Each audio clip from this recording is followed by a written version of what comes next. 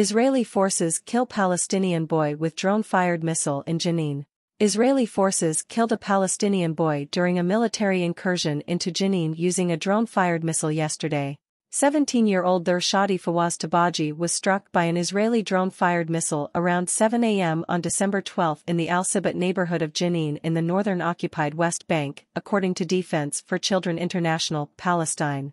The Israeli military entered Jenin and Jenin refugee camp around 3 a.m. on December 12, and at time of publication, the incursion is still ongoing. There was standing near three armed Palestinians when he was killed in the drone strike. There and the three Palestinian men were transported by ambulance to Jenin Governmental Hospital, where they were all declared dead on arrival. Israeli forces are now routinely using weaponized aerial drones to carry out attacks against Palestinians in the occupied West Bank, said Ayed Abu Eqtaish, Accountability Program Director at DCIP. After years of Israeli forces increasingly unlawfully killing Palestinian children with impunity, we now see Israeli forces escalate tactics to carry out aerial attacks against children in a hypermilitarized environment where Palestinian children bear the brunt of Israeli aggression. There suffered shrapnel wounds and burns across his entire body, according to information collected by DCIP. During the Israeli military incursion into Jenin, Israeli forces deployed across the city in Jenin refugee camp, seizing Palestinian homes to use as military bases and stationing snipers on the roofs of buildings. Israeli forces besieged several hospitals in Jenin and impeded the movement of ambulances and paramedics. Israeli military bulldozers destroyed civilian infrastructure in Jenin refugee camp and several neighborhoods throughout the city. Israeli forces also bombed at least one Palestinian home, completely destroying it.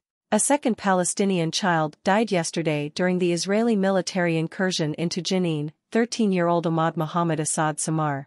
Ahmad fell ill at home in the nearby town of Al Yamoun, and while his father tried to drive him to Jenin Governmental Hospital, the Israeli military incursion forced Ahmad's father to take multiple detours. When Ahmad and his father were about 500 meters, 1,640 feet, from the hospital, Israeli forces stopped the car and forced both of them to exit. Ahmad's father carried him on foot to the hospital and arrived around 10.30 a.m., when doctors pronounced him dead.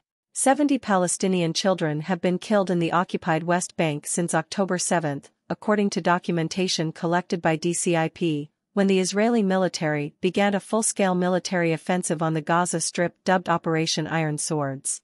So far this year, Israeli forces and settlers have killed at least 110 Palestinian children in the occupied West Bank, according to documentation collected by DCIP. Israeli forces and settlers shot and killed 95 Palestinian children with live ammunition, 10 Palestinian children were killed in drone strikes, 4 Palestinian children were killed by missiles fired from a U.S.-sourced Apache attack helicopter, and one child was killed in an Israeli warplane airstrike. Under international law, intentional lethal force is only justified in circumstances where a direct threat to life or of serious injury is present.